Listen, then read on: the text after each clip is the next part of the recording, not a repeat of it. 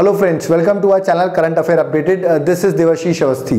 As we are continuing with our polity lecture series, this is lecture number 56th. तो आपको याद होगा we have started with state government जिसमें state government state executive हमारा topic था we have done the first topic of state executive that is governor तो आप जिसने 55th लेक्चर नहीं देखा है दैट इज़ ऑफ़ गवर्नर वो ज़रूर देख लें आज जो हमारा टॉपिक है that is chief minister and state council of minister तो याद रखिए बिल्कुल ये सिमिलर है जिस तरह यूनियन गवर्नमेंट में prime minister minister and president होते हैं, है ना? और काउंसिल ऑफ़ मिनिस्टर होते हैं। वैसे ही स्टेट में CM, governor and state council of minister होते हैं। तो ध्यान रखिएगा, जिसने वीडियो नहीं देखा है PM and council of minister का, सेंटर वाला। तो बिल्कुल सिमिलर तो उसको आप देख लें तो आपको ये वीडियो ज़्यादा बेटर समझ में आएगा। चलिए स्टार्ट करते हैं अपने वीडियो को। सबसे पहले गवर्नर देखते हैं।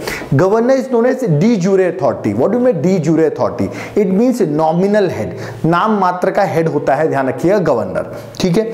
और इसको कहते हैं अपन head of the state state का जो हेड होता है, वो होता है गवर्नर ठीक है? जबकि जो चीफ मिनिस्टर होता है, वो होता है de facto authority what do what do mean by this it mean means real executive authority मतलब रियल हेड जो है रियल एग्जीक्यूटिव अथॉरिटी हेड जो है, वो होता है कौन? सीएम सारे काम जो होते हैं वो सीएम करता है बट नाम किसका रखता है? गवर्नर का in the name of governor remember तो he is the head of the government तो governor he the head of the government जबकि गवर्नर क्या होता है? हेड ऑफ़ द स्टेट और CM is the head of the government ठीक है? अगर हम सीएम की अपॉइंटमेंट देखें तो सीएम को अपॉइंट करता है गवर्नर अंडर आर्टिकल 164 याद रखिएगा। अपॉइंट तो करता है गवर्नर बट ऐसा नहीं कि किसी को भी अपॉइंट कर सकता है। कन्वेंशन ये कहती है, जो भी मेजॉरिटी पार्टी होगी ठीक है? उसका जो लीडर होगा, उसको अपॉइंट करेगा कौन? Governor as a chief minister remember और अगर मान लीजिए कोई क्लियर मेजोरिटी नहीं है there is no clear majority ठीक है? तो गवर्नर क्या करेगा? Then governor has a personal discretion उसका डिस्क्रिप्शन है कि वो किसको चूज़ करे? उसमें भी वो किसको चूज़ करता है, मैं आपको बता देता हूँ। लार्जेस्ट पार्टी जो लार्जेस्ट पार्टी होगी, उससे वो सीएम बना सकता है। या तो कोई कोलिजन आप बाद में वाला इलेक्शन के बाद पार्टी आपस में जुड़ के कोलिशन गवर्नमेंट बनाना चाहती है। तो कोलिशन इन द असेंबली तो उसमें कोई कोलिशन के थ्रू बनाना चाहता है तो वो उसको अपॉइंट कर देगा सीएम याद रखिएगा। बट उनको प्रूफ करना पड़ेगा कि उनके पास कॉन्फिडेंस है तो उनको वोट ऑफ़ कॉन्फिडेंस प्रूफ करना पड़ेगा within a month remember तो ध्यान रखिएगा कि of course appointed by governor but remember जो मेजोरिटी पार्टी रहती है, उसका लीडर होगा। अगर मेजोरिटी पार्टी नहीं है तो ध्यान रखिए कोलिजन या लार्जेस्ट पार्टी में से किसी एक को, जो भी इसमें से बेटर रहेगा, जो गवर्नर को उस टाइम पे दिखेगा, उसके अकॉर्डिंग लेकिन उसके डिस्क्रिप्शन पर है कि वो लार्जेस्ट पार्टी को बुलाना चाहता है कि कोलिजन को मिलकर बुलाना चाहता है। डिपेंड्स अपॉन द गवर्नर इसलिए यहाँ पे गवर्नर का रोल बहुत इंपॉर्टेंट हो जाता है। ठीक है? नेक्स्ट आगे बढ़ते हैं। एक मैंने क्वेश्चन लिखा है। अगर सीएम डेड हो जाता है, उसकी डेथ हो जाती है, या तो वो रिजाइन करता है तो क्या होगा? रिमेंबर काउंसिल ऑफ़ मिनिस्टर जो है, जो काउंसिल ऑफ़ मिनिस्टर है, सरकार बनी हुई है, वो सरकार गिर जाती है। कहने का मतलब गवर्नमेंट अगर सीएम की डेथ हुई या उसने रिजाइन किया तो सरकार गिर जाएगी। इस टाइम पर क्या होगा? गवर्नर फिर से पूछेगा कि कौन सरकार बना सकता है? अगर उस टाइम पर कोई गवर्नमेंट बना सकता है तो again he will appoint a new government तो रिमेंबर जैसे कि अगर कोई सीएम की, कोई सीएम रिजाइन भी करता है तो ध्यान रखिएगा, पूरा एक तरीके से जो भी उनकी काउंसिल ऑफ़ मिनिस्टर थे, जो उसके मिनिस्टर्स थे, जो गवर्नमेंट थी, वो टोटली फिनिश अप हो जाएगी और दोबारा गवर्नर उसमें से अगेन पूछेगा कौन सरकार बना सकता है, जो बना सकेगा उसको वो सीएम बना देगा रिमेंबर नेक्स्ट ओथ अगर बात करें सीएम की तो ध्यान रखिएगा it is administered by governor governor he oath दिलाता है सीएम की। आगे बढ़ते हैं अपन। Powers and functions of CM क्या पावर्स ऑफ़ फ़ंक्शंस हैं? फ़र्स्ट है related to council of minister मैं आपको बता दूँ काउंसिल ऑफ़ मिनिस्टर से रिलेटेड क्या सीएम के फ़ंक्शन या पावर है? पहला ध्यान रखिए काउंसिल ऑफ़ मिनिस्टर की अपॉइंटमेंट सीएम के बोलने पर ही गवर्नर करता है। तो मतलब सीएम एडवाइस करता है, इसको अपॉइंट कर दिया जाए, इस मंत्री के पद पर मिनिस्टर बना दिया जाए तो गवर्नर उसको अपॉइंट कर देता है। सेकंड फिर जब मंत्री बन गए आप, आपको क्या पोर्टफोलियो मिला है? डिफेंस मिला है सॉरी जैसे स्टेट की बात करें तो होम मिनिस्ट्री मिली है एग्रीकल्चर मिला है, क्या मिला है? तो पोर्टफोलियो भी कौन डिसाइड करता है? सीएम डिसाइड करता है। जबकि मिनिस्टर के लिए अपॉइंट कौन कर रहा है? गवर्नर एडवाइस किसकी है? सीएम की रिमेंबर नेक्स्ट जो भी काउंसिल ऑफ़ मिनिस्टर की मीटिंग होती है, उसको प्रिसाइड कौन करता है? हेड कौन रहता है? ध्यान रखिएगा सीएम रहता है। ठीक है? और एक बात ध्यान रखिएगा कि अगर, मैंने अभी फिर से रिपीट किया, अगर प्राइम मिनिस्टर सॉरी सीएम की डेथ हो जाती है या वो रिजाइन कर देता है तो पूरी सरकार कोलैप्स कर जाएगी। गवर्नमेंट विल फॉल इसलिए मैंने लिखा है गवर्नमेंट विल फॉल और जितने भी काउंसिल ऑफ़ मिनिस्टर है, उनको भी, वो भी फॉल आउट हो जाएँगे। कहने का मतलब वापस आपके पास कोई ऑप्शन नहीं रहेगा, अगर उसकी डेथ हो जाती है, आपको अगेन गवर्नमेंट फॉर्म करनी पड़ेगी। ठीक है, जबकि कोई काउंसिल ऑफ़ मिनिस्टर अगर रिजाइन या उसकी डेथ होती है तो सरकार नहीं गिरती। बट अगर सीएम ध्यान रखिएगा डेथ या रिजाइन हुई तो गवर्नमेंट विल कोलैप्स ठीक है? Second function in relation to governor governor के रिस्पेक्ट में बताता हूँ मैं सीएम के क्या पावर्स है। He the channel of communication कहने का मतलब council of minister state council of minister और ध्यान रखिए गवर्नर के बीच में जो लिंक ऑफ़ चैनल है चैनल कौन प्रोवाइड करता है? वो है CM second information related to legislation law बनाने से रिलेटेड स्टेट गवर्नमेंट में जो लॉ बनाने से रिलेटेड इश्यूज़ रहते हैं, उनको डेल्ट कौन करता है? याद रखिएगा, वो उनको बताता है जाकर, किसको इन्फॉर्मेशन देता है? गवर्नर को इन्फॉर्मेशन देता है। कौन? चीफ मिनिस्टर ठीक है? सेकेंड बहुत सारी इंपॉर्टेंट अपॉइंटमेंट्स होती हैं जो गवर्नर करता है। वो एडवाइस कौन करता है? Of course council of minister advice देते हैं, हर जगह यही लिखा हुआ है। बट ध्यान रखिएगा काउंसिल ऑफ़ मिनिस्टर अभी मैंने बताया आपको, और गवर्नर के बीच में लिंक कौन है? सीएम तो सीएम एक्चुअली बताता है किनको अपॉइंट करना चाहिए, ठीक है? नेक्स्ट बात करें थर्ड इंपॉर्टेंट फ़ंक्शन की। तो चेयरमैन रहता है सीएम किसका? स्टेट प्लानिंग बोर्ड का। Even he is a vice chairman of zonal council ठीक है। याद रखिए जोनल काउंसिल का जो चेयरमैन होता है, वो होता है होम मिनिस्टर इसको आप नोट डाउन कर लीजिए, ठीक है? नेक्स्ट याद रखिएगा member of inter state council ये सब अपन आगे पढ़ेंगे। Member of inter state council कौन? उसका मेंबर होता है सीएम याद रखिएगा, ठीक है? तो ये कुछ उसके पावर्स हैं related to what chief minister आगे हम बात मूव करते हैं। देखिए, मैंने लिखा है important articles related to chief minister ठीक है? तो इसमें ये आर्टिकल्स बहुत इंपॉर्टेंट है, ठीक है? अपन स्टेट काउंसिल ऑफ़ मिनिस्टर भी इन आर्टिकल्स को देखेंगे तो एक एक करके बता देता हूँ। आर्टिकल 163 याद रखिएगा council of minister state council of minister to aid and advice whom to aid and advice governor और ध्यान रखिएगा काउंसिल ऑफ़ मिनिस्टर हेड कौन करता है? सीएम हेड करता है। ठीक है? Next article 164 other provisions related to ministers तो ये अपन देखेंगे क्या अदर प्रोविजंस है। आर्टिकल 166 याद रखिए conduct of business of government of state ठीक है? तो जो भी बिज़नेस कंडक्ट होता है स्टेट गवर्नमेंट का, उससे रिलेटेड है। ध्यान रखिए, जितने भी एग्जीक्यूटिव एक्शन होते हैं is in the name of governor ठीक है? वो यहीं पर लिखा हुआ है। नेक्स्ट है आर्टिकल 167 ड्यूटीज़ ऑफ़ सीएम ठीक है? तो सीएम की ड्यूटीज़ दी हुई हैं। अब इन सबको एक एक करके अपन डिटेल प्रोविजंस में देख लेते हैं। तो सबसे पहले स्टार्ट करता हूँ मैं। State of state council of minister उसमें हम ये सारे आर्टिकल्स देखने वाले हैं, ठीक है? तो चलिए, जिस तरह same way as council of minister at the centre वैसे ही होता है स्टेट में भी स्टेट काउंसिल ऑफ़ मिनिस्टर्स ठीक है? चलिए आर्टिकल 163 स्टार्ट करते हैं। मैंने अभी बताया state council of minister aid और एडवाइस करेंगे किसको? गवर्नर को, ठीक है? इसमें याद रखिएगा, जो एडवाइस करते हैं स्टेट काउंसिल ऑफ़ मिनिस्टर ये advice can not question in court मतलब इस एडवाइस को क्वेश्चन नहीं किया जा सकता कोर्ट में।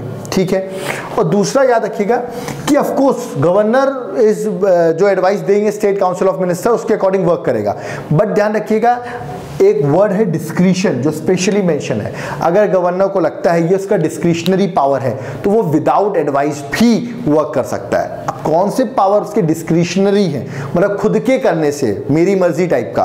तो वो वो गवर्नर खुद डिसाइड करेगा, ये उसका डिस्क्रिशनरी है कि नहीं है। अगर डिस्क्रिशनरी नहीं है गवर्नर को लगता है तो he should work on the aid and advice of state council of minister यही डिफरेंस है प्रेसिडेंट और गवर्नर में। ध्यान रखिए प्रेसिडेंट में ऐसा कोई वर्ड डिस्क्रिशन करके मेंशन नहीं है, जबकि गवर्नर के पास डिस्क्रिशन करके वर्ड मेंशन स्पेसिफिकली है। ठीक है, चलिए आगे बढ़ते हैं। आर्टिकल 164 इसमें क्या लिखा other provisions related to ministers मैंने अभी बताया आपको। CM is appointed by governor of course CM जो है, उसको कौन अपॉइंट करता है? Governor other ministers are appointed by whom governor on the advice of CM ये भी आर्टिकल किसमें है? 164 में लिखा हुआ है। ये भी याद रखिएगा council of minister including CM ठीक है? ये कितने हो सकते हैं? ध्यान रखिएगा स्टेट काउंसिल ऑफ़ मिनिस्टर की बात कर रहा हूँ मैं, ठीक है? कितने हो सकते हैं? तो 15 percent of state legislative assembly मतलब विधानसभा की जितनी भी टोटल सीट्स होंगी, उसके 15 परसेंट क्या हो सकते हैं? State council of minister including CM और ये प्रोविज़न ऐड किया गया था आर्टिकल नंबर 164 में through ninety first constitution amendment act 2003 इसको आप ज़रूर नोट डाउन करें, ठीक है?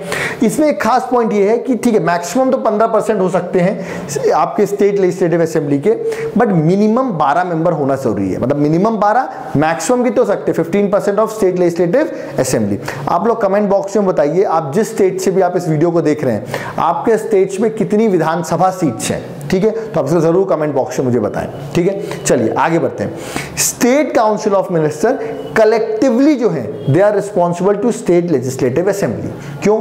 क्योंकि ध्यान रखिएगा नो कॉन्फिडेंस मोशन उनके अगेंस्ट कहाँ पे पास हो सकता है? स्टेट लेजिस्लेटिव असेंबली में और इसका मतलब है they sink and swim together मतलब एक भी काउंसिल ऑफ़ मिनिस्टर के अगेंस्ट अगर नो कॉन्फिडेंस मोशन पास हुआ तो ध्यान रखिएगा, सबको रिजाइन करना पड़ेगा। तो कलेक्टिवली उनको अपना कॉन्फिडेंस कहाँ रखना है? स्टेट लेजिस्लेटिव असेंबली हिंदी में कहते हैं विधानसभा में। याद रखिएगा। जबकि इनको अपॉइंट कौन करता है? अपन को पता है गवर्नर तो state council of minister individually responsible to whom to governor ये सब किस आर्टिकल में लिखा हुआ? आर्टिकल में 164 में। नेक्स्ट सैलरी अलाउंसेस जितना भी ये मिनिस्टर्स का ध्यान रखिए it is determined by whom state legislature next याद रखिएगा मिनिस्टर अगर मान लीजिए वो मेंबर नहीं है ना ही स्टेट लेजिस्लेटिव असेंबली का, ना ही स्टेट लेजिस्लेटिव काउंसिल का। Still he could become a minister but उसके लिए उसको within six month he should get elected from any of the house ठीक है? तो ये प्रोविज़न में किसमें लिखा हुआ आर्टिकल नंबर 164 में। नेक्स्ट मिनिस्टर जो है, वो होल्ड ऑफ़िस करते हैं during the pleasure of governor remember pleasure of governor मतलब गवर्नर पे डिपेंड रहते हैं। बट ऐसा प्लेजर नहीं कह सकते, क्योंकि अपन को ही पता है कि काउंसिल ऑफ़ मिनिस्टर को हटाना है, अगर स्टेट काउंसिल ऑफ़ मिनिस्टर किसी को भी हटाना है तो ध्यान रखिए, यहाँ पर एडवाइस करेगा उसको कौन? चीफ मिनिस्टर ठीक है तो एडवाइस चीफ मिनिस्टर करता है गवर्नर उसके अकॉर्डिंग वर्क कर देता है. बट रिमेंबर ये वर्ड लिखा हुआ है आर्टिकल नंबर 164 में कि वो किस पर है? प्लेजर पर है. ठीक है, चलिए आगे बढ़ते हैं. अब देखिए, मैंने आर्टिकल 165 नहीं लिखा है. ध्यान रखिए, मैंने पढ़ा चुका है एडवोकेट जनरल ऑफ़ स्टेट उससे डील करता है. अपन आगे बढ़ते हैं. Article 166 conduct of business of government of state जितने भी एग्जीक्यूटिव एक्शंस होते हैं बिज़नेस होते हैं हाउस में स्टेट लेजिस्लेचर में, वो in the are in the name of whom are in the name of governor ये किस आर्टिकल में लिखा है? Article number 166 next article 167 duties of CM already we have discuss duties of CM आपको याद होगा किस तरह उसको इंफॉर्मेशन देनी पड़ती है, किसको? गवर्नर को रिलेटेड टू लेजिस्लेशन ये सब उसकी ड्यूटीज़ है, किसकी? सीएम की. 177 ये भी हो सकता है आपके एग्ज़ाम में डायरेक्टली पूछ ले। Article 177 deals with rights of minister as respect to the house house से रिलेटेड जो राइट्स मिलते हैं मिनिस्टर्स को, ठीक है? जैसे आप पूछेंगे, सर, क्या राइट्स मिलते हैं? जैसे कि मिनिस्टर को एक राइट है, मैंने लिखा भी है स्टेट काउंसिल ऑफ़ मिनिस्टर्स को, क्या राइट है? They can speak in any house वो किसी भी हाउस में बोल सकते हैं, चाहे वो विधानसभा स्टेट लेजिस्लेटिव असेंबली हो, चाहे स्टेट लेजिस्लेटिव काउंसिल हो। But they can vote only in that house in which he is a member वो जिसके मेंबर होते हैं, उसी में वोट करेंगे। But he can speak in any of the house वो किसी भी जाकर सेशन में बैठ सकते हैं मतलब ऑफकोर्स लोकसभा सॉरी विधानसभा में बैठ सकते हैं they can even sit in Vidhan Parishad. Proceeding से पार्टिसिपेट कर सकते हैं बट ध्यान रखिएगा, बोल भी सकते हैं बट वोट सिर्फ़ वहीं करेंगे जहाँ के मेंबर होंगे, ठीक है? आर्टिकल ओथ अगर मिनिस्टर्स की बात करें तो गवर्नर उनकी ओथ कराता है, ठीक है?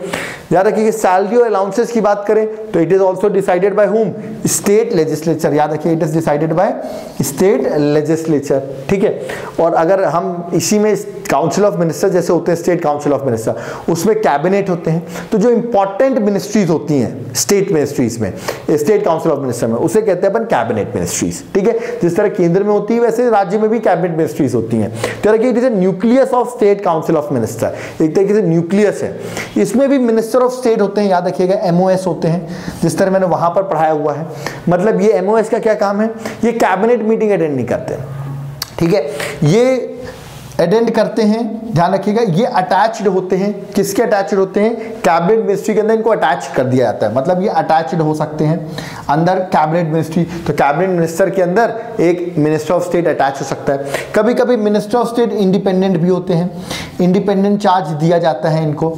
ठीक है? तो इंडिपेंडेंट वो वर्क करते हैं, ठीक है? वो अटैच्ड नहीं होते हैं। बट ध्यान रखिएगा, वो कैबिनेट मीटिंग तो अटेंड नहीं कर सकते। चाहे वो अटैच्ड हो, चाहे वो इंडिपेंडेंट हो, जब तक उनको बुलाया ना जाए, ठीक है? If they are called show to attend the cabinet meeting then only they can attend cabinet meeting otherwise they don't attend cabinet meetings और इन्हीं को कॉम्बिनेशन में अपन कहते हैं स्टेट काउंसिल ऑफ़ मिनिस्टर याद रखिए कैबिनेट मिनिस्टर और मिनिस्टर ऑफ़ स्टेट्स को कॉम्बिनेशन में ही क्या कहते हैं state state council of ministers ठीक है? तो आप इस पॉइंट को याद रखिएगा। तो हमने देखिए we have done the chief minister and the state council of ministers तो कमेंट बॉक्स में आप जो जो स्टेट से आप देख रहे हैं, आप इसको ज़रूर कमेंट बॉक्स में मुझे बताइए कि who is the presently CM of your state ठीक है? तो आप इसको कमेंट बॉक्स में बताएँ और आपको ये वीडियो अच्छा लगा इसको लाइक सब्सक्राइब शेयर ज़रूर करें। अगर आप इसके हैंड रिटेन नोट्स चाहते हैं तो ज़रूर आप नीचे दिए नंबर पर आप कॉन्टैक्ट ज़रूर करें।